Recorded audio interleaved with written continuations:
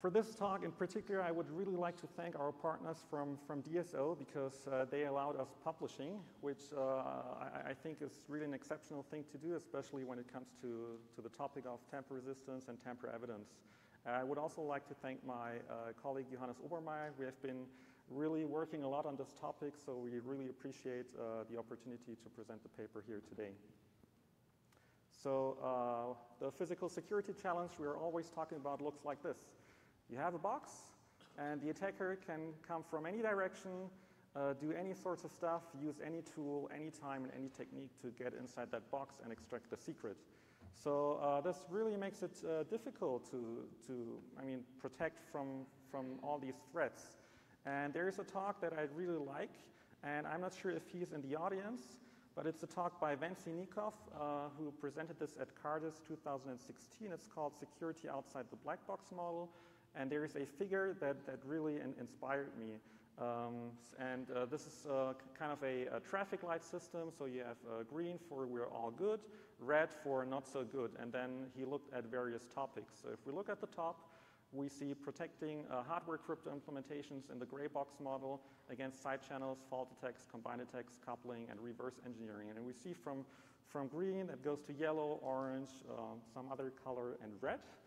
And uh, then he looks into various other uh, topics. So I, I, think this is uh, really um, kind of the, the agenda we need to look into uh, in, in, the future. So how to turn these, these red boxes uh, to a green box. And of course, we uh, might start someone, somewhere up here and, and work on this topic. But of course, as a young, desperate PhD student, we thought like, okay, let's start at the bottom uh, protecting any platform in the white box model against physical attacks. Of course, we should at least try. I'm not guaranteeing, uh, I do not guarantee that we succeeded, but uh, at least we should somehow try. So uh, if we talk about security enclosures, you can think of this, as some kind of access denial system. So the goal is always to detect and counteract any type of physical attack. So we have the tamper detection, which is uh, ba basically a tripwire approach. You use some sensors for that. Then you have the tamper response that you initiate, and then you have the zeroization, which is some kind of self-destruct sequence of your device. So either you blow some fuses, or you wipe the volatile memory holding the critical security parameters. And for that to work, you typically have uh, battery-backed uh, mechanisms for providing this continuous uh, protection, such that even if the device is powered off, that the sensing still continues to work. So some uh, commercial examples for that are, uh, for instance, the ADP uh, Gauselmann uh, database module. So that's a, uh, a German company uh, providing this module for slot machines um, to ensure or prevent tax fraud. Then we have the HP Atalla module, which is a FIPS certified hardware security module at levels three and four. And then this is kind of my favorite, this uh, real masterpiece of uh, security. It's called the IBM Cryptographic Code Processor, featuring the so-called Gore envelope. And uh, all, uh, across all these uh, commercial examples, what we see is, is active meshes, obfuscation, light sensors, switches, potting, so all sorts of things to really make it secure. But of course, it's uh, more in the domain of, of, of um, black box modeling. So uh, what they also have in common, uh, you can see it perhaps here. Uh, there's a battery and there's a battery, and here would have been a battery, but I took them out before I did the analysis. So uh, if we look at high-level goals of these uh, access denial systems, uh, we see there are always a trade-off between producibility, usability, and security. So of course we can look at very complex manufacturing processes, uh, but then the uh, usability and the security uh, might be impacted or it might be very expensive. But um, in general, they tend to be expensive anyway, so what uh, most people look at is the desired level of security for these access denial systems. And uh, typically, they want that there is no way to somehow circumvent the security mechanism. So what you achieve um, when using these access denial systems is that uh, you're secure in the field, you prevent all physical attacks in the field, but of course also you prevent hardware trojans in the distribution chain. So if you uh, send your device somewhere, you can be quite sure that it has not been tampered with. So um, uh, when we apply these criteria to the previous shown examples, uh, then when it comes to producibility, um, we, we saw uh, this, this envelope from the IBM uh, hardware security module. Uh, there, the manufacturing is quite complex, but it provides the highest uh, geometrical security because your device is, is fully enclosed. Uh, if we look at covers and shells, they're of course less complex, but also less secure. Uh, then in terms of usability, the, the battery really um, makes an impact because it typically limits the operating range with regard to temperature. The shelf life, of course, is also limited and uh, usually requires additional service uh, to maintain the batteries if you just shelf the device. And from a security perspective, what is quite interesting, since all these devices run from a battery, you need to be really energy uh, preserving in the sensing that you do. And uh, this typically leads to a rather crude uh, measurement resolution of the, the, sensors and circuits that you use. Uh, they are also a little bit more prone to a single point of failure at the PCB level, so you just cut off the alarm or fake check, uh, apply some fake check signal, and then you get past that, and it's security mostly based on a black box model. So how can we do better? Uh, so what if I told you these machines no longer need a battery? and we can do without them. And even better yet, we can do it in a white box model. So let's have a look at that. And to no one's surprise, it's based on tamper-evident PUFs as the uh, proposed alternative. If you'd ask me, but of course I'm slightly biased, uh, that's the true purpose of a PUF. It's not key storage, it's, it's tamper detection without having battery-backed sensors. So if we power on the device, we do the key derivation from the tamper-evident PUF enclosure, and if it fails, uh, we have our goal achieved. We could still initiate further countermeasures. And if it succeeds, we at least are reasonably assured that uh, no one tampered with the system and we can unlock the critical security parameters or decrypt the system. Uh, unfortunately, there's very little public work in this area, which is why I would like to encourage you to have a look at this and uh, make it even better. But still, it's a move towards a white box PUF design without diminishing the security. So the whole idea is we can publish the architecture and um, such that people can check the concept, um, which is the white box approach to do, without diminishing the security. Of course, we can still throw in a little bit of obfuscation, uh, which still makes it even more difficult to attack. So the proof of concept that we did is uh, here you see to the right. It's a flex PCB cover about 14 times 14 centimeters. And uh, the architecture looks like this. We have different domains. So one we call the physical domain, then we have the analog domain, the digital domain, and the application domain. So um, um, th these are separated in, in two units uh, just because of the reason we uh, didn't do any customized uh, circuitry, so we use commercial off-the-shelf components. So we have what is called the evaluation unit and the host system, and what we will focus on here is primarily the evaluation unit, where we do capacitance measurement, integrity detection, and some other stuff that is going to be explained as part of the next slides. So the design goals and security objectives that we wanted to achieve with that is to investigate how far can we get just using commercial off-the-shelf components. Also to check the validity of the concept and if it's worth uh, developing further and investing more money on it.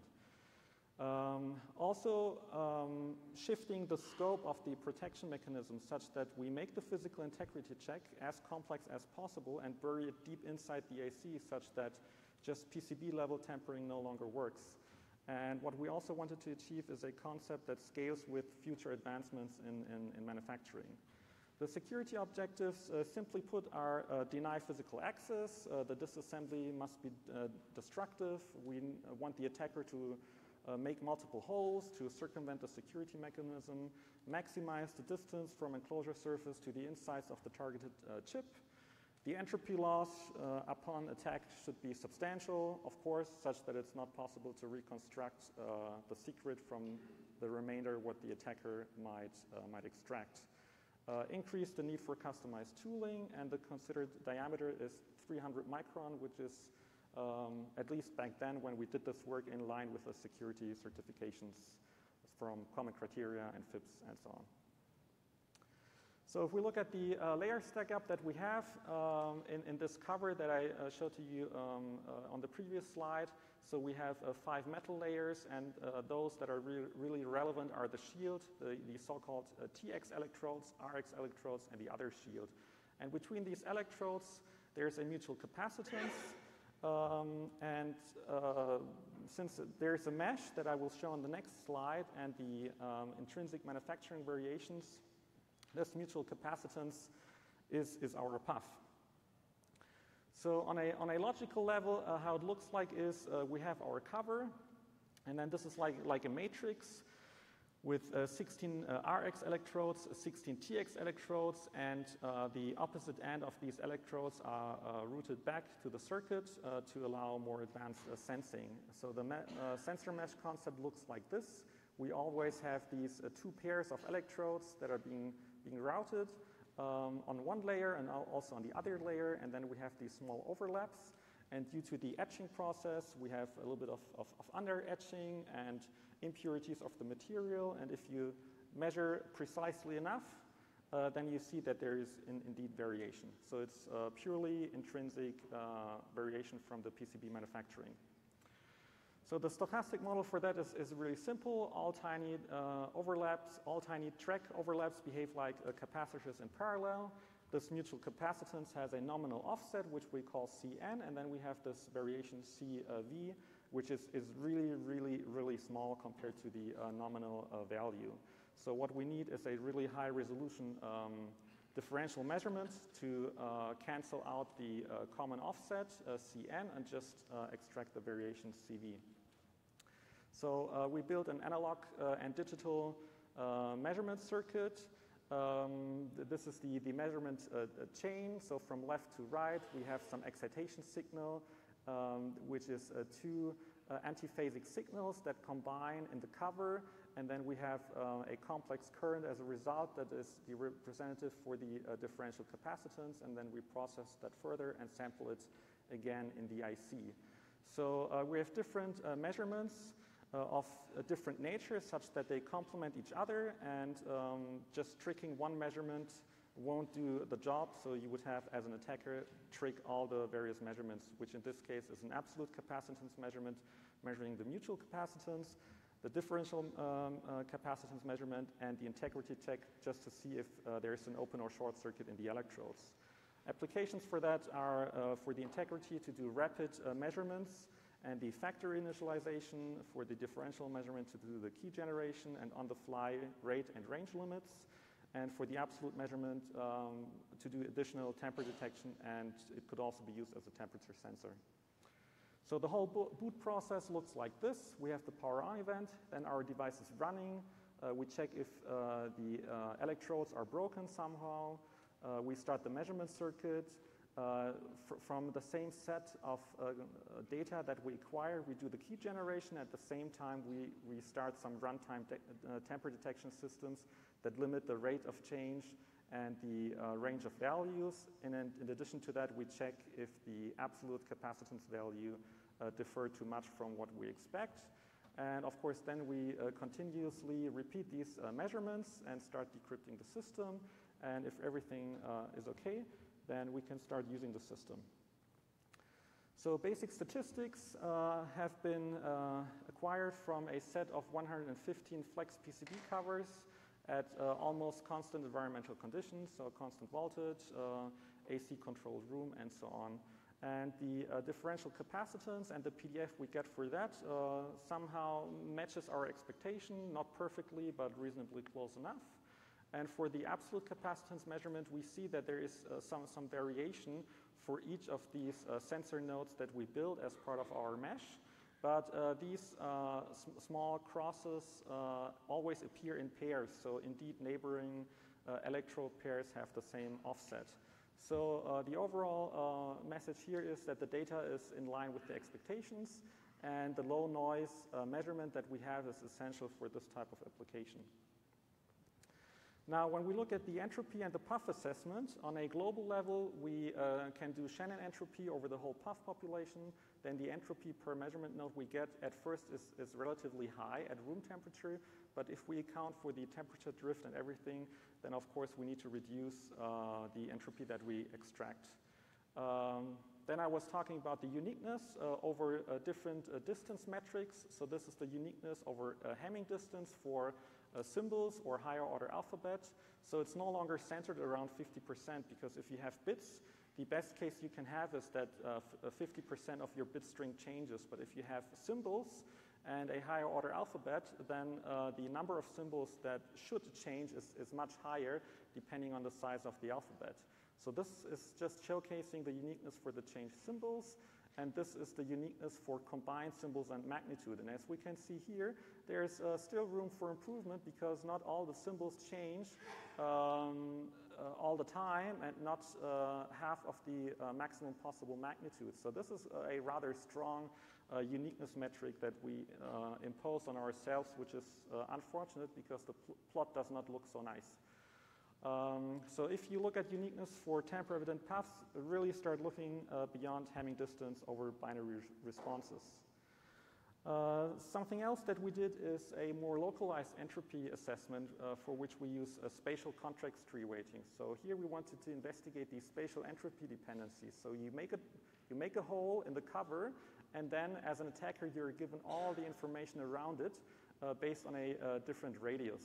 And what we see here is that the entropy is lower than what we saw beforehand. So indeed, there is a degradation that exists due to the crude layout and the PCB process, but we already have a way of, of fixing that. So this is a, a rather strong uh, attack uh, for, for the attacker. And uh, of course, uh, that's the, the strongest possible attack anyway, that the attacker gets the, the, the PUF output and um, yeah, that's work uh, together with um, Michael Pehl of TU Munich that, is, uh, that still needs to be published. We also have uh, more data, more attacks, and more environmental uh, tests in the paper. It's just way too much to present it in any useful way as, as, as, as part of this talk. So here we did some temperature tests, some X-rays, and also attacks uh, on the cover. So uh, the conclusion is uh, this is still just only a, a very tiny step towards uh, access denial systems without a battery.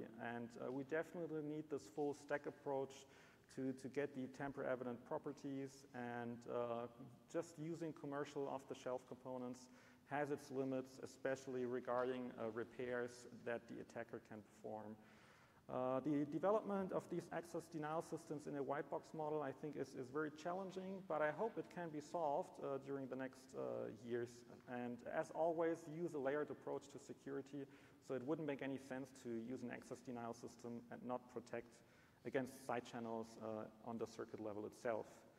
So uh, future work is um, regarding uh, layout randomization because the layout that we used was fixed. So what you can do here is just to artificially increase the number of electrode pairs and then uh, before the measurement recombine them based on a challenge that you select. And uh, here this uh, concept of challenge response naturally translates to, to layout randomization where you also break up local dependencies. So if uh, this path would be built, then the spatial context tree weighting would yield better results. Another thing that could be done is to customize the PDF, so we could uh, some kind of impregnate uh, uh, different uh, nominal values without changing CV. And uh, right now we have only been working on, on a Gaussian distribution, but uh, there are some ideas how to change that to a bimodal or arbitrary PDF, for which the equidistant quantization approach, again, is the better choice because you don't rely on the, on the shape of your PDF. And uh, something else is, uh, of course, to tailor the materials to increase CV and reduce CN to improve the local entropy loss, and of course, make repairs more difficult. And there are many more things that need to be done, and I, I, I really hope to see uh, progress uh, in that domain. Uh, with that, I would like to conclude my talk. Uh, thank you again very much, and see my updated contact information, and ready for questions.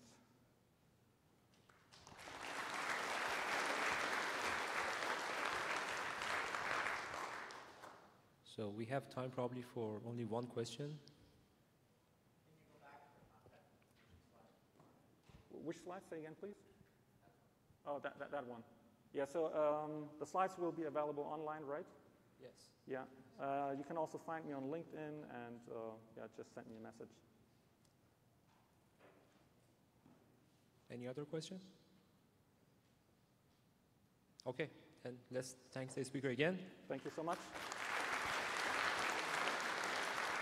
Um, be before closing this session, I would like to announce that today we have also a poster session, and we have 10 posters. Um, if you like, you can join us at Augusta Ballroom at 7th floor uh, at 6 p.m. Thank you.